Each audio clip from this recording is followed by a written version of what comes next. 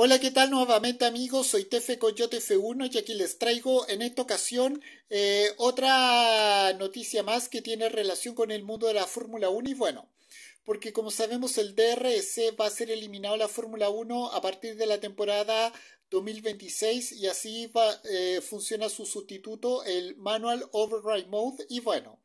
Como sabemos, la FIA creó un nuevo sistema que va a dar más potencia al piloto perseguidor. Y bueno, sin más que decir, vamos a hablar un poco de aquello. Bueno, la FIA explicó en la tarde de este reciente jueves la nueva normativa de la nueva temporada de la temporada 2026 Fórmula 1 y bueno, se pudo saber que eh, los coches serán más pequeños, más ligeros, pero el aspecto que más destacó es la eliminación del DRS y bueno, este, nuevo, este sistema Llegó a la Fórmula 1 en la temporada 2011 y desde aquel entonces se volvió clave para los adelantamientos y bueno, de hecho hoy en día parece imposible ver un adelantamiento sin DRS y bueno, a partir de la temporada 2026 este sistema será reemplazado.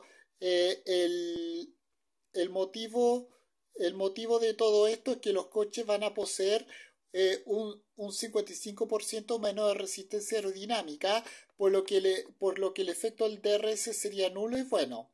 Su nuevo sustituto será el eh, Manual Override Mode, eh, también llamado MOM, el cual eh, va a ofrecer al piloto un extra de potencia eléctrica en la recta con el propósito de facilitar los adelantamientos. Y bueno, así lo explicó el director técnico de la FIA, John Monchus, que dice así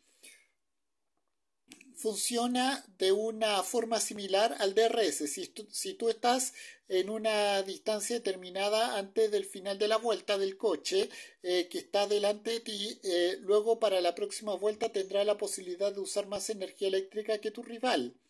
Eh, este, este extra energía eléctrica está aquí para reemplazar al alerón trasero que se abría para dar un extra al piloto y así intentar el adelantamiento. Bueno, Aparte de eso, el nuevo MOM, lo, eh, los coches tendrán dos modos, el Z y el X. El primero será, para el, será el modo estándar, pero cuando los pilotos necesiten más velocidad de la recta podrán usar el modo X y bueno.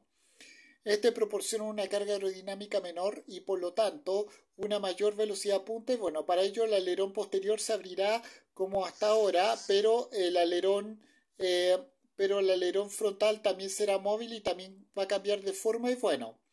Eh, estas configuraciones serán de uso libre y vendrán por defecto en todo, en cada coche, en cada monoplaza, por lo que eh, puede dar mucho juego durante la competencia y bueno, el modo X en nuestra terminología bajo eh, para el bajo drag que ofrecerá una velocidad punta más alta ese es el estado en el que correrás cuando estés en recta o quizá a la salida de una curva. Cuando te acerques a la zona frenada podrás cambiar ah, al modo Z con el que ganarás más carga aerodinámica ya sea al momento de frenar o en la curva. Eso explicó el jefe de aerodinámica de la FIA Jason eh, Somerville. Y bueno, con esto me despido. Adiós, que me fuera. Chao.